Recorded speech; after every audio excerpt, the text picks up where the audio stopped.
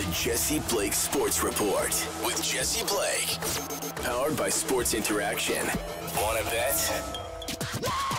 Today on the Jesse Blake Sports Report, we are going to be joined by Julian McKenzie to talk about Bill Peters being named the head coach of the Lethbridge Hurricanes. And then we are going to get into what's happening, whether it is your first time here or your last time here or somewhere far in between. Thank you for being here. Let's get into the show.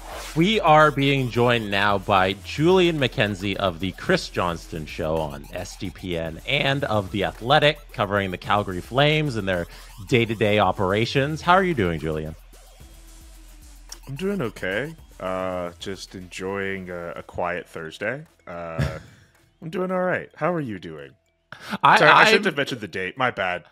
It's all, it's all right. Um, I think my day has been a lot less eventful than yours uh, because Bill Peters kind of rocked your world for the last 24 hours. And for those people who don't know, uh, Julian McKenzie wrote a terrific article in The Athletic today about Bill Peters being named the new head coach of the Lethbridge Hurricanes of the WHL.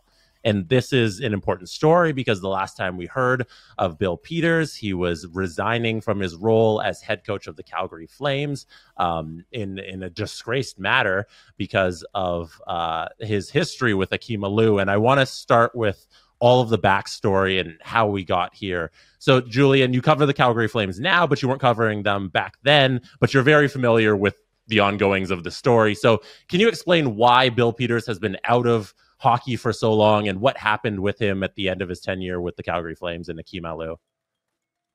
Essentially, what had happened was is that um, it had been found out after Akim Aliu tweeted about this about four years ago that an incident between the two men occurred when they were both with uh, the Rockford Ice Hogs of the American Hockey League, in which uh, Akim Aliu, I believe, was in the locker room uh, playing music, and Bill Peters proceeded to disapprove of his choices of music by using the N word on a number of occasions. And that story went unheard of. Uh, Akim, I believe, also said that uh, Bill had written a letter basically demanding that he get sent down to the ECHL.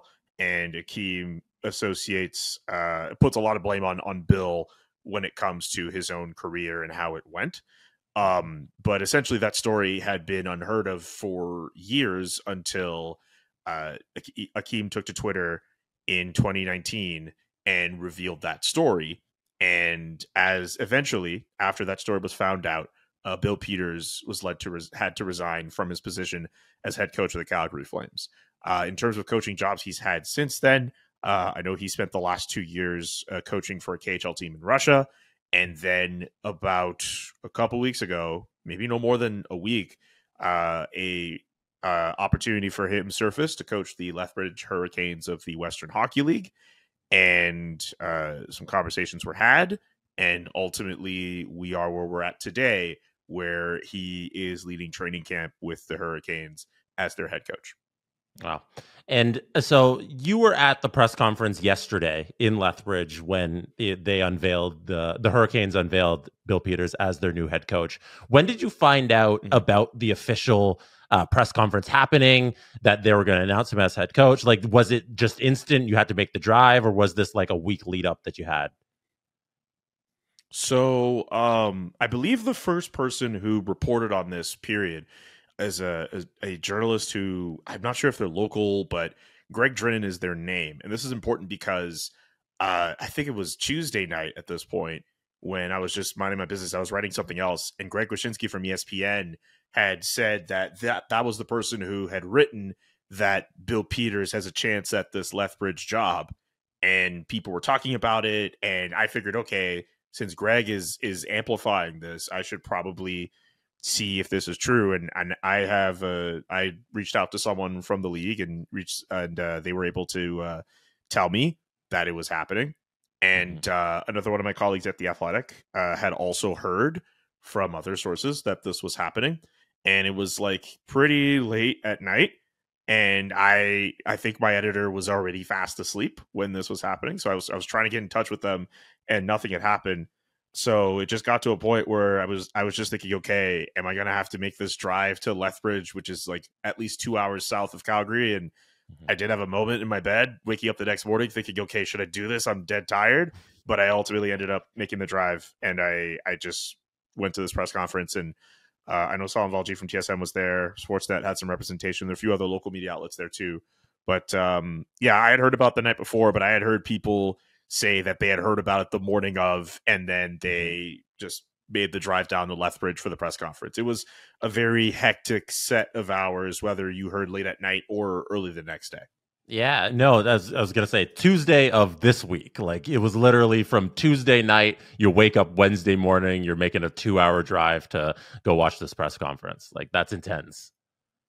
Yeah, yeah. And then uh, after the press conference, I was just like, all right, I have an idea. I'm gonna drive back. And uh, yeah, I just it just that whole morning, early afternoon was just a bit busy. Mm-hmm. Um, mm-hmm. But uh, yeah, I just thought it was an important story that had to be uh, written about considering yeah. the events. And, and following the timeline of events here, so you get to the press conference, and you wrote in in your article about half an hour before is when Akim Aliu tweeted, and he he tweeted uh, information. We're, I'm going to read it in verbatim here, but uh, did you know that his mm-hmm. tweets were coming about his what had happened in the last week involving him and Bill Peters and him reaching out to apologize? So Did there had know been that that was coming from the yeah. Tuesday night. So from the Tuesday night, there had been reports going around uh, that uh, Akim had heard that Bill was trying to apologize through a third party broker, which ended up being this uh, current NHL head coach. And then the tweet that he put out about half an hour before the press conference started basically outlined what he had what was said in those reports that mm-hmm. a current NHL coach tried to reach out to him more or less to curry some kind of a te- of, of apology uh, from Bill in order to get it to to Akim, and Akim posted what he had said in, in exchange.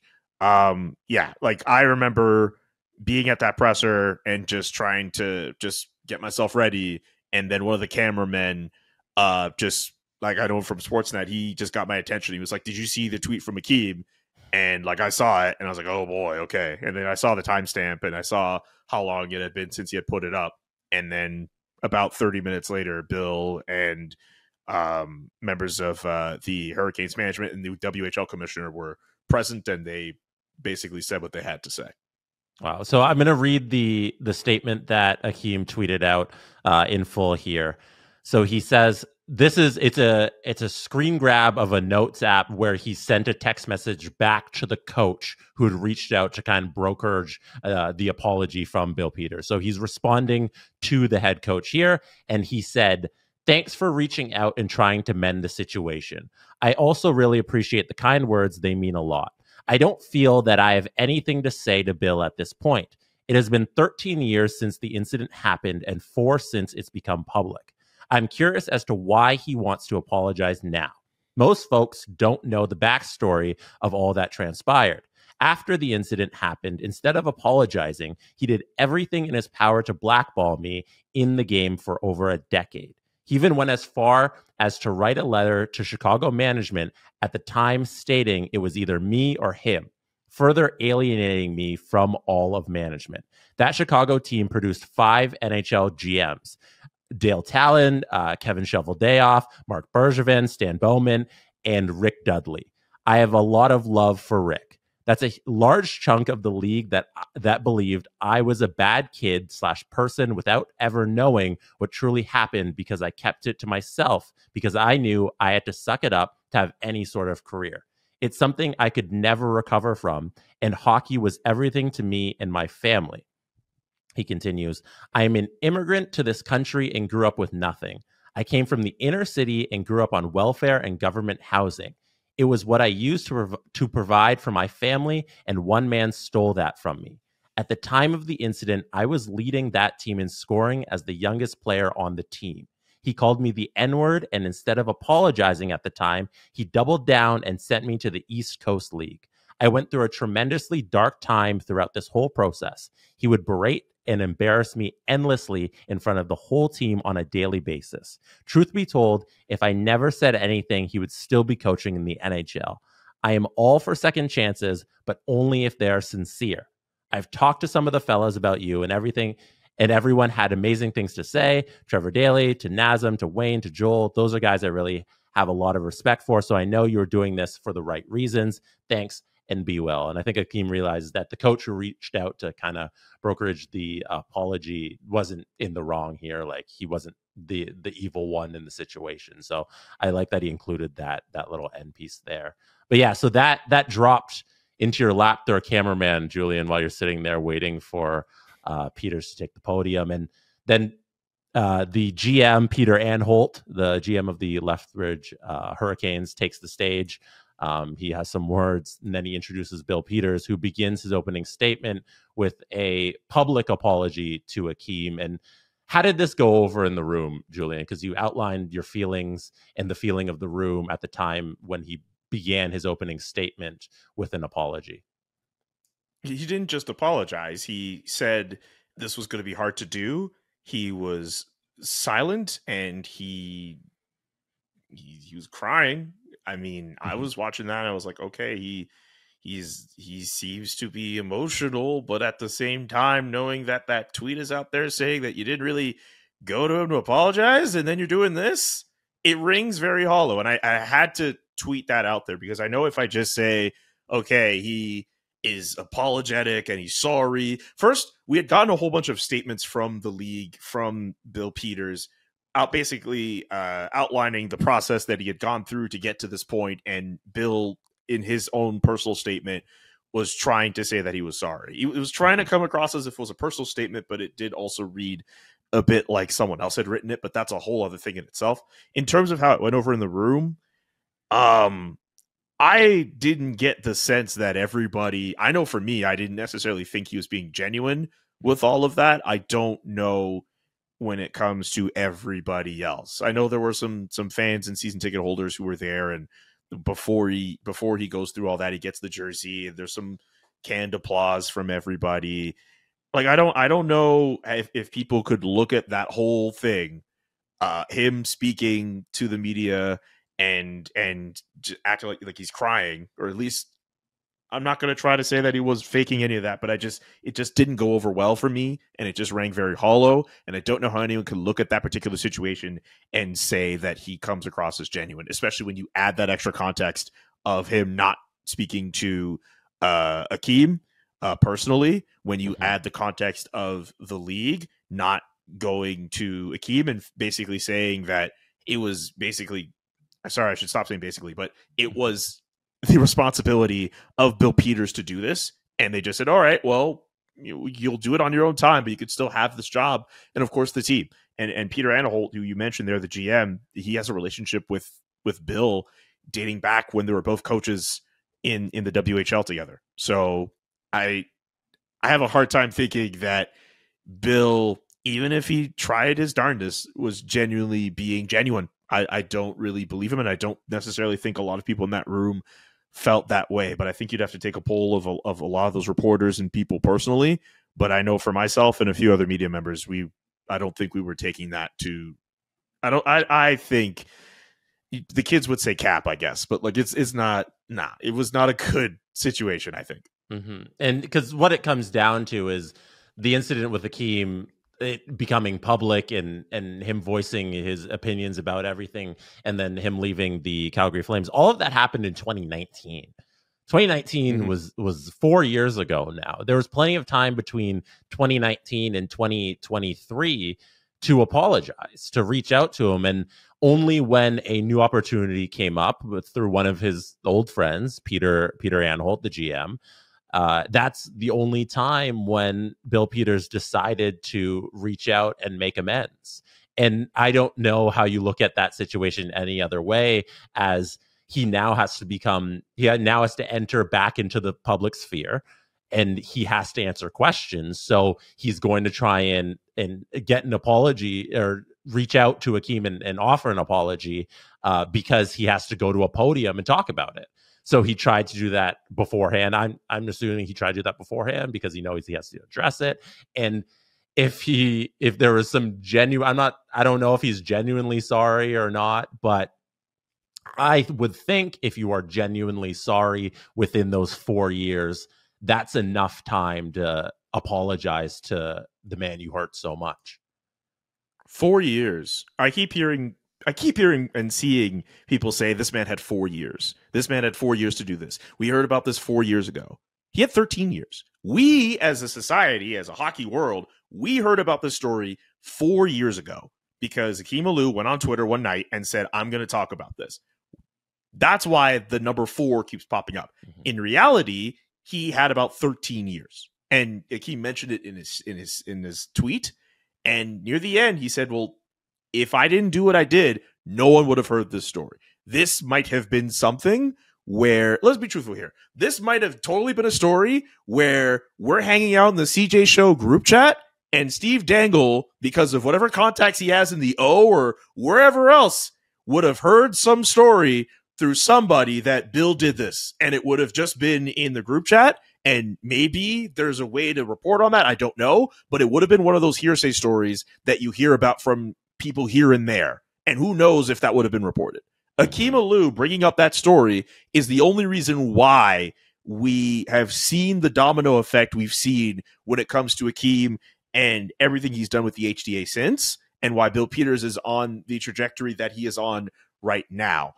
This could have been very different if Bill Peters, in the last 13 years, not four, took it upon himself to apologize and I I see the statements where he has done this work with a, a, consulting group that looks to make organizations more diverse. He takes some college course on diversity and inclusion during his media availability. He's able to mention all the isms, the racism, the sexism, all the isms, as and says, "Hey, you know what? Those are those are talking points." But they ring so hollow. They they don't have as much weight and meaning if you fail to apologize to the person that you hurt. Mm-hmm. And I don't know if I have time for a person who is willing to do all this stuff and beat around the bush while skipping the most crucial step of the quote unquote rehabilitation process. And that's what Bill Peters did. And he was green lighted by the Lethbridge Hurricanes and the Western Hockey League in that process because they didn't feel he needed to do that either. Yeah, the uh, the work that they said he did. You mentioned the uh, organization.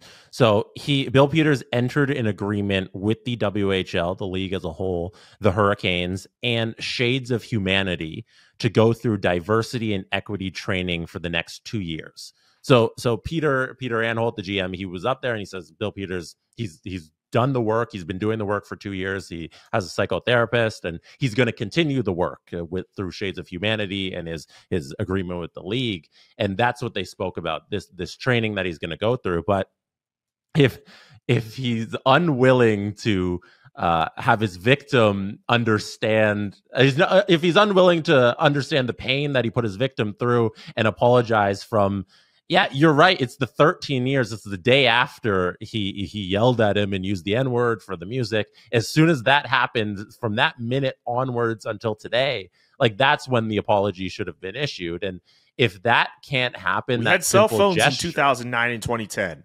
We right. had emails in 2009, 2010. We had you could call somebody. You could you could write letters. There are so many different things he could have done. Well, mind you, he wrote a letter for something completely different but like I, 13 years is a long time. And then to take to take all that time and then wait until about a week before you should be getting this opportunity to coach in North America again and you go through somebody else to try to make that happen. Is that not crap?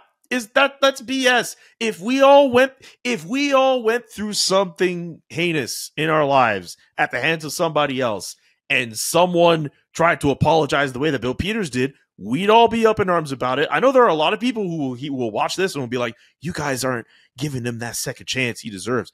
Those people, those people who are thinking of doing that, put yourselves in the shoes of Akim Aliu and don't even necessarily think about that particular situation.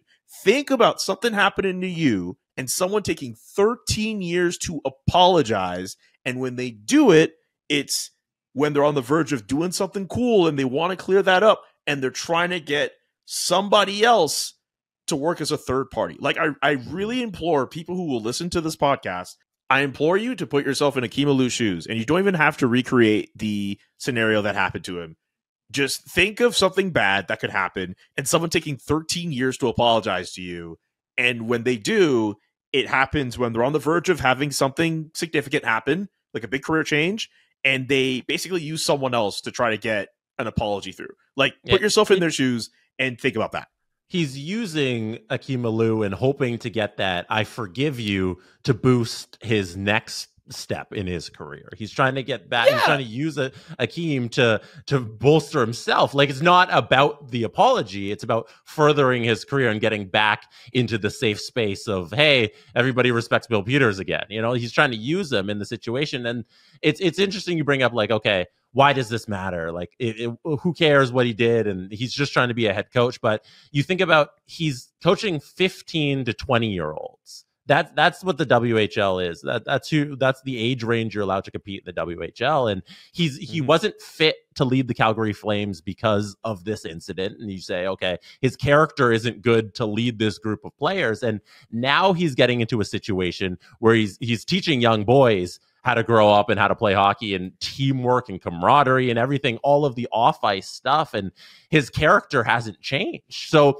it it just it's so blatant how it's his friend who's giving him a shot and not anything to do with Bill Peters earning this based on uh, his character changing or him being a person who should be in charge of this group of young boys in this very important step in their evolution of life. Jesse, Jesse, can I ask you a question? Sure. Let's say you are in that age range of 15 to 20 you're a Mhm. talented hockey player and an opportunity comes where you're in the dub and you get sent to lethbridge and bill peters is your coach Mhm. how do you feel about that I would be so incredibly uncomfortable every single day I walk into that locker room, especially as as a black man. Like it's even it's tenfold. You know, like there's there's no escaping it. You know what this man is capable of. You know what he's done in the past, and you know that he has done, I would say, insignificant work to remedy that remedy his his public image and and remedy what he's done to another person so I I wouldn't respect him as my head coach and I would be scared. Especially as a young kid, as if I'm 16, 17, I would be absolutely terrified every day going to play for this guy. don't don't you think like first off i really appreciate you answering that question as honestly as you did don't you think that if you feel that way and you're not in the league but i have a hard time thinking that the players of color in the whl wouldn't have a similar viewpoint and if you're in charge of how things run in your league don't you think it makes sense to hear from those people before mm-hmm. you let a, a man like bill peters back into your league it just makes sense to me but mm-hmm. maybe I'm a crazy person. I don't know. That just makes sense to me. Yeah. So th- this is another layer of the story in that they've known for they said about a week now. It was a, it was a sudden hiring because their coach resigned. The previous coach of the Lethbridge Hurricanes resigned three weeks ago. So it was a quick turnaround Yes. for for this position and to bring Bill Peters in. So they knew about a week ago that they were going to make this this hiring, and in that week they never contacted Akim. Nobody from the league or nobody from Lethbridge decided to talk to him and see if what they thought, what he thought about this signing. Like they basically just rushed through it. I know the the commissioner was trying to say that they spoke. I don't remember specifically how they worded it, but nowhere in his discourse did he say they spoke to other players about Mhm. it, and they definitely did not speak to Akim about it. And that again, that is a massive step missed in all of this. All that they all that so they could bring back Bill Peters. That's essentially what this is. And they felt they could overlook that step. And I'm sorry, but I don't think this person is truly worth of. And I mean, it ultimately, it's not up to me because I'm not the victim in this situation. It's it's, it's Akim who is the victim, and victims in, in those situations should be the one but Julian, to Julian, administer forgiveness. But We've heard yeah. from Akim. Like that's We've- that's yeah, the like, thing. come- like, come we, we've heard from him and we know what happened. Like we we know that the apology wasn't sincere and he tried to do it uh, 4 years later after it became public. Like that's that's why I don't think there's it's not really a gray area with this issue. It seems to me very black and white. No, you're right. It is very black and white, and not to go that far, but when you consider that Akim has what he has out there, and we know it's not genuine, but the they're trying to make it seem as if it is anyway. Bill and the team in the league they're trying to make people look like idiots. And I don't like being made to look like an idiot. The one one thing that really bothered me from that press conference, Jesse, mm-hmm. um, from the individual um, scrums that we had, I remember trying to ask Bill a question about which, like, what players of color or people of color has he spoken to in his process uh, to get to where he's at. And I, I realize I could have asked that question a little bit better. If you go back on the YouTube video, you can hear me try to stumble through it. And he does say yes. And I'm like, well, what are those conversations like? And he's saying that he's heard from all these people. And then he takes a moment and he says, I have a story for you if you'd like to hear it. And he basically starts retelling the events of the night Wayne Simmonds had that banana thrown at him oh, during gosh. that preseason game. But what really was insulting about it was that the fact that he was stumbling through these details as if it was this completely new thing that no one had ever heard about. And like right. that to me just felt like between that the the the crying at the beginning of the press conference, mm-hmm. uh, his explanations about why Akim had not heard from him, it felt like one of those situations to me where they were trying to take me for a fool. They were trying to take a whole bunch of people in that room for idiots and fools and just think, all right, well, he's going to be all good and no one has to make this into a big deal. And because of how hockey is, where it's a predominantly white sport, and the powers that be feel that race doesn't have to be this big deal. They felt they could get away with it. And maybe that's why I feel so angry about this story. Maybe that's why I, wrote that column the way that I did, because, you know, I, I love the sport dearly, but I don't like being made to look like an idiot. And I felt like that leaving that arena and that press room. And I I don't like feeling that way. I was I was made to feel like an idiot and they were trying to feed me a whole bunch of stuff about how Bill Peters is is is for the better now because he went through all of these different courses and whatnot in order to get to that point. When we all know he didn't do what he needed to do, which is apologize to Akim mm-hmm. I think that's a that's a great place to leave it. This is a pretty heavy show. Uh, next time, I'll bring you on for something much more, much more joyful. Maybe we'll do some predictions for the season or something fun. We'll do a. You know what's actually funny? I wanted to. Table. You know what's funny? At the end of the show, I wanted to be yeah. like, "Hey, can you please put me on a more fun podcast?" I would. I. You know what? I would much rather. I would much rather be on one of your shows where you yeah. say something completely ridiculous and I just yell at you the whole thirty minutes because at least that's fun. That's yeah. at least a fun show. I don't like the fact that we had to spend this last how many minutes talking about a guy who doesn't deserve to have an opportunity as as as as just just the fact that that's out there. Like I, I mm-hmm. hated having to to do this. I understand that we have to talk about these stories and and it sucks that you and I have to be in this position where we have to talk about this. But yeah. if we don't talk about it, who's going to talk about it?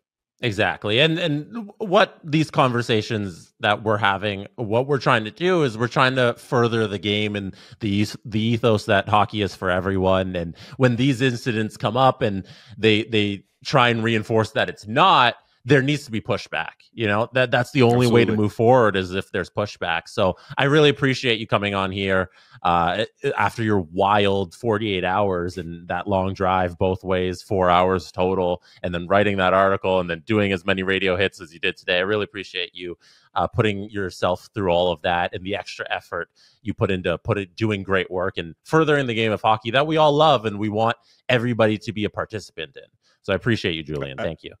I appreciate you as well, and thank you so much for for having me on uh, your show. It's always a it's always a good time to. In all seriousness, it's always great to be on your show with you, buddy. So thank where, you. Where did the Flames finish this season? In the playoffs? Out of the playoffs? That might be for the prediction show, my man. I need I need more time. all right, all right, time. save it. I, I, need to think about this. I need to think about this. There are people killing me already about about my takes on that. I need to think about this. Okay, okay. I'll, we'll save it for the next one. I'll have you on in a couple weeks, and we'll do a little preseason show. That's Julian McKenzie of the Chris Johnston Show and the Athletic. Thank you guys for listening. All right, now for a quick edition of What's Happening, where I tell you what's happening on SDPN and you tell me what's happening in your life through some sort of interaction, whether it be on Twitter or on my DMs on Instagram or on our Discord server. Go to sdpn.ca and join us on Discord. Let's start with a little SDPN news. Noxie and Cax return on Tuesday, this coming Tuesday, the day after Labor Day. If you're in a region that has Labor Day.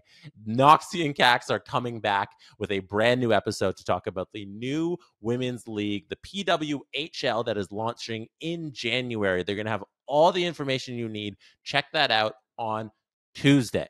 And now for you, I want to shout out J Money a longtime listener to many of our SDPN shows, particularly particularly the CJ show, but today interacted with me a little bit on Twitter. So I want to shout out eh, at Insider J Money, who, when I asked for your starting six of a current day Team North America, he put together a full Team North America team. And I want to read it out for you and put it on the screen here. So if you don't remember, Team North America was a part of the 2016 World Cup. The 2016 World Cup that the NHL put on was a little wonky. They had a team some of Europe amongst the countries that weren't represented, but players from Europe, and also a Team North America comprised of under 23 year olds who were either from Canada or the United States who are not on the Canada or American teams that were also in the World Cup tournament.